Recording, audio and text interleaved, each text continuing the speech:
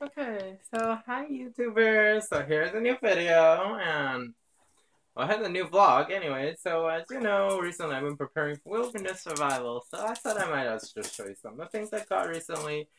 Maybe you've seen it in my other videos, but I'm here showing you guys again.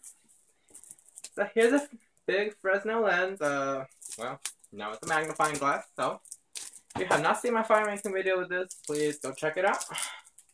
I'll have a link in the video description below. That one's already up.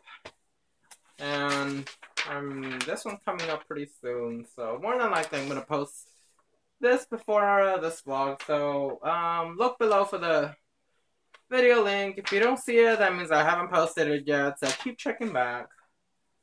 So that one was for the, this is like my fire Swedish fire steel. Um, yeah, so.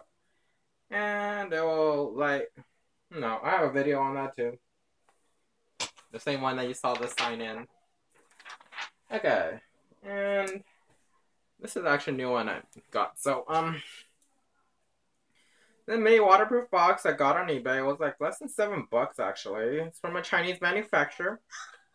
So far it is like waterproof, so I don't know if I'm gonna make a video on this one or not, but just showing you guys what inside this tiny box. I did actually get a bigger one for this. So, you know, this was my fault. I didn't check the sizing, but so I'll eat the cost. Maybe I could find some other uses for it. Who knows? Let's show you guys what's inside the box. Okay.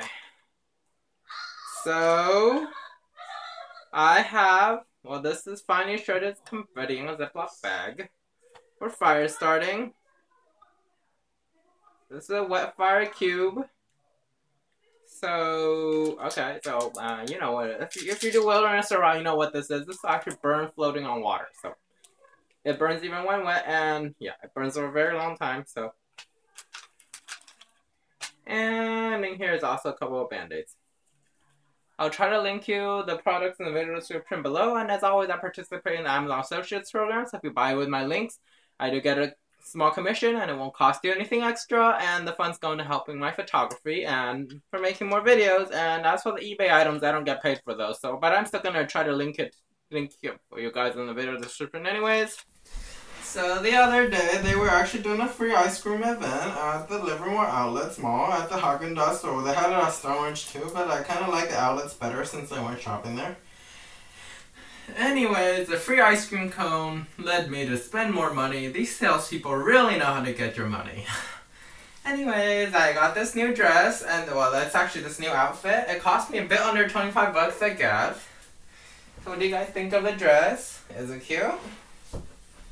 I don't know. I, I, I showed it to a few of my friends, and they're like, oh my gosh, it looks so cute on you, Sunny, but what do you guys think? So tell me in the comments below. You probably can tell by now I'm, yeah, I like dresses and, you know, I'm not like the pants kind of girl.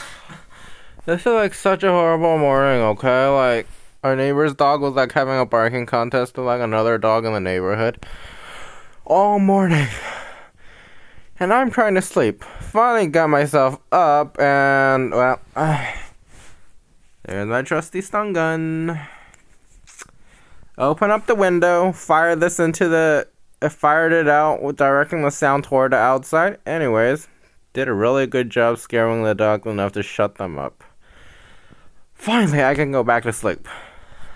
So this works for deterring animals, dogs, or humans. And of course, if it doesn't work and they're close to you, you can always just, you know, Make contact with this and it will paralyze them. Hey YouTube, maybe you remember a while back my Nexus 5 radio did break, so I needed a new phone, which kind of sucked. Actually, I'm video recording this on the Nexus 5. The radio broke, so it won't connect to the cell network, but it will still work over Wi-Fi and everything else works. Anyways, uh, you know, I'm a computer nerd. I already tried my best to fix it. I couldn't. So, I mean, there's something wrong with the physical hardware. So, here's a Nexus 6. Uh, someone gave it to me, and, well, I needed a better case for it, because this one, you know, it doesn't really protect it that well, so this is always the best part, opening the Amazon package. Now, I think this is, I'm not too sure what this is, um, a Supcase. I'll give you a product link in the video description below if you want to get something from them, or this case, I got it in red because I like the color red, so. Alright, this is always so fun. Okay, little card. I don't do that much unboxings these days, but you know, I'm just so excited to get this. Let's see. So with a product review on Amazon or connect with us, Facebook. Visit us, email. Okay, just kind of like the Anker card. All right, um, so here's a case. You can see. Let's take off this hard case, which scratches up so easily. I don't really like it, so. Plus, this protects all the buttons on like this thing. See how there's like cutouts on this? And shit. This one probably protects it a lot better. Okay. Just clean up the inside a little bit. Okay. Yay. Oh, this would be awesome. I wish I got the white phone though, but then it's a gift, so what can I? I shouldn't be complaining. Alright. Yeah, so hard to get in. Oh, that's actually good. Wow, this actually looks really nice. Yeah, there's some actually dirt inside though from the machining process. So, uh, yeah, it does work and it's a little bit raised, so it, won't actually hurt the screen if we place it down this way. And the back is transparent, but it's not a fingerprint magnet. That's even better. Wow. Dang, so so happy about this. I picked the right case. Today I got some packages in the mail, so let's show you guys. First of all, this is the Choe 15Y. This is the Qualcomm 2.0 fast charger. And as you know, recently my Nexus 5, which I'm videotaping on, the cell radio broke. So I, so someone gave me a Nexus 6, and this supports a new Quick Charge 2.0. So, of course, with such a large battery, I wanted to, I needed something faster to charge it because you know when I'm on the go, I don't always time, always have time to sit next to a charger. So this right here so far, I'm actually going to do a video review sometime later once I get to test it for a while. But so far, uh, my battery went from 71 to 73% in less than a minute on this charger. So it's definitely working. More than likely it's working. Although there's nothing on the Nexus 6 that will tell me that it's fast charging or not using this technology. But, you know, I guess I'll find out with time. Secondly, maybe, okay, maybe you guys don't know, but, um, do like to store my cell phones in pouches and stuff, and this new Nexus 6 obviously won't fit in my Nexus 5. You know. Okay, so I got one of these. A bit of a... This was actually a bit of um, a gamble, but I'm glad it fits. So this is a cute Rilakkuma. Um, it's a drawstring pouch. It's supposed to be a bento pouch, but it fits perfectly. See? Yay, I like these cute things. Alright, so there's that, and I don't know if it's a knockoff or anything, but... Alright, and last but not least, this was actually a bit of a disappointment, okay? So, from the beginning of the vlog, maybe you remember I got this waterproof box. This was great. It was really tight, but the only problem was it was kind of small. I still have my Band-Aids, wet fire, and the newspaper and paper, printer paper shredded up in here. Anyways, this was actually cheap Chinese crap, and it's from HTE. The seller name on here somewhere, but... Okay, I took out the sponges. Um, This was taking up way too much room inside. The other thing was, you see these latches here? I had two problem latches. This one, and this one.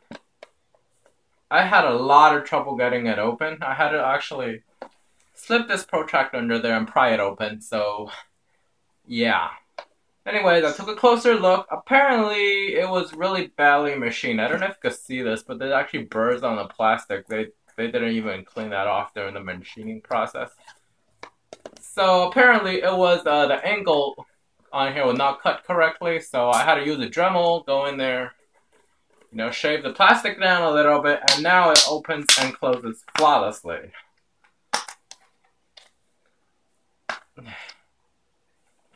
Is supposed to be a waterproof box, but yeah. Okay, this one's still giving me some issues, but anyways, you know what? This is probably not that good. Cheap Chinese stuff that they're selling on there. And also, as for the waterproofing, I did actually do a waterproofing test in water. Uh, a few drops of water did actually soak in through the O-ring. This can probably survive a rainstorm, but if you completely submerge it in a river or a lake, it's not going to be that completely waterproof. Luckily for me, this waterproof box, which is also really hard, it actually fits in here correctly. This box, on the other hand, there's actually some give in here. Actually, some, yeah, there's give inside the box, so you can actually flex a little bit. It doesn't feel like it's hard plastic at all, unlike this one, so, yep, box inside of a box. Box inception, maybe, you can call it. Anyways, I don't think I show you what's inside. Oh, of course, there was the original box with a shredded newspaper and printer paper, band-aids, and the wet fire cubes. But now I could actually store my light my fire, which is wrapped in a lot of tinfoil, which will be great for survival situations. So this is tinfoil wrapped on a light my fire, and this also keeps the magnesium from scraping everything. So, and this is the scraper inside here, which is also in encased inside some tinfoil. And there's also a few Ziploc baggies. I plan on also getting some waterproof matches, you know, strike anywhere matches. The um, let's see, what was it? What do they call that again? Uh, yeah, the company that makes the wet fire cubes, they also make those waterproof matches that will burn underwater. 15 seconds total, so I might actually get one of those. I don't have one of those yet. Maybe I'd put a lighter in here and what else can I put in here? Water purification tablets, maybe a small blade or knife, a small hacksaw or something. That'll come useful in a survival situation, you know. That may be a signal mirror. There's no signal mirror in this. Anyways, this is total crap. See? Their logo sticker actually already fell out after submerged it in the water, so. Alright guys, maybe you saw earlier I got a red case for my new Nexus 5. I mean Nexus 6, I keep thinking Nexus 5 because I'm using this to video record right now. Anyways, I actually got a USB cable to match the red color, so here's a red USB cable, and whoa, it's actually got aluminum on it, so this looks pretty high quality and like, you know, fancy Apple-like cable. And actually, it's like a rope design. So it's like very flexible. Like, see? Normally your cables are probably not this flexible. This actually feels like a really soft piece of rope. Let's see if I can show you guys, but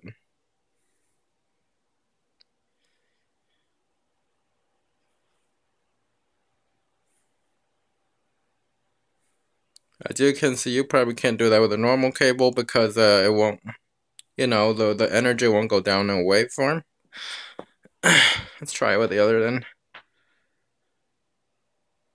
Yeah, see how the how the energy from my hand is actually going down like a wave. So it's like soft like a and it's from let's see, Sen Sentey? Yeah, yeah, yeah. So it's from Amazon. I'll give you guys a link to that um down in the video description. If you do want something fancy like this, there it is with my Nexus 6, my new cable. And it's hooked up to my Anker charger right now, over there. Okay, so at the beginning of last month, well, probably during sometime during last month, I got this little uh, waterproof makeup bag. Apparently, according to the seller, the first shipment got lost, so that's why I just got it today. Anyways, um, it is not waterproof. It's got a mesh on it. Hey, this waterproof? No, it isn't. It's at most water resistant. But you know what? The seller already sent me a new one, so um, I'll take it. He's done enough, or she. Plus, it looks alright. I mean, I could store my makeup in there even though it's not waterproof. Would have liked waterproof, but you know, right now my makeup was just like lying really loose everywhere, so now I have this. Now, since it is water resistant, I wanted to have a waterproof place to put my you know, the, the sharpener for my eyeliner pencils. And this is actually the bottle cap that came with my mascara, so I don't know where to put this. Can I just throw this away? I don't know. I just, I'll be honest, I'm like, I'm not much of a makeup girl, so two of my friends kind of peer pressured me into it, but I wasn't really that interested in makeup before, so I still am not. I usually lazy out unless I'm like going to go see the doctor or something. And, uh, the mascara is actually actually mascara inside this. Ew, it got on my fingers. Anyways, uh, unless I'm like going to the doctors or something, usually like don't put on makeup. So usually too lazy. I'm not the kind of makeup girl. Anyways, so this is gonna be waterproof. So these two stores in here. Maybe I'll just throw away the bottle cap, but no. I don't want the pencil sharpener rusting or anything. And then these two are my eyebrow pencils. They're just like drugstore ones right now. That's not my eyebrow pencil. This is my eyebrow pencil. It's just like a drugstore brand that I got. You know, I'm just starting off. I don't, I like, I don't know anything about makeup. Okay, I watched tutorials and stuff before, but I never actually paid attention to that. So, and this is a, a eyeliner pencil. And it's got a smudger in the back, so. Another eyeliner pencil that I got on Amazon, but it didn't actually turn out that well. That's why I got this one. You guys see it? This is the, what is this? This is the NYX Black, or I have no idea what that is. Maybe I'll link you guys in the video description below for that. And I think this is in Maybelline, New York? I don't know. Um, and is this Neutrogena? Yeah, I'm like, yeah, I'm like totally clueless on the makeup things. I know a little of it. I mean, check out the Amazon reviews. If it's good, I'll get it. And this is a Maybelline that I got on Amazon. This liquid liner actually works really well. And this is the one I use a lot these days, but it does actually rub off my eyes pretty easily, so it's not the best, I guess. But I usually just bring this into my purse and touch it up as I go. And you have this. This is a bag of like this is just cotton swab dipped in like Neutrogena makeup remover, and this like a Neutrogena makeup remover wipe. Just store this, and if I'm wearing makeup that day, I'll just like stick my eyeliner and this into my purse, and I'm, you know, if everything smudges, I'll just wipe it off. As I said, I'm I don't mind too much if I don't have makeup on. I know some girls do mind that a lot, so. And this is my mascara. This is a Neutrogena mascara. Drugstore brand. I got it at. Where did I get it? I got it at Target, so. No, I can also get it on Amazon. I'm pretty sure they sell everything on Amazon. Before I was just having these lie loose inside my, you know, bathroom, but now I can actually store it somewhere.